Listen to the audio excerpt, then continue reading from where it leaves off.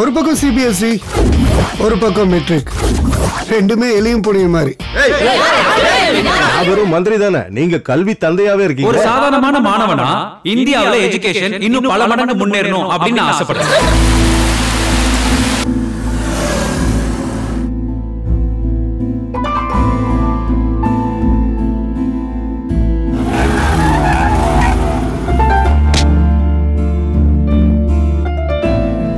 ஏங்க இந்த entrance எக்ஸாம்க்கான coaching ஒரு மாசத்துக்கு நாற்பத்தி ஐயாயிரம் ரூபாய் ஆகுது. எங்க அம்மா அப்பாவுக்கு மாசம் மாசம் ஃபீஸ் கட்டி எங்களை ஸ்கூல்ல படிக்க வைக்கிறதே பெரிய விஷயமா இருக்குங்க. அப்புறம் எப்படிங்க நாற்பத்தாயிரம் மாசம் மாசம் அவங்களால ஃபீஸ் கட்ட முடியும்? நான் நினைச்சேன்னா தமிழ்நாடு எந்த ஸ்கூல்ல நீ படிக்க முடியாது.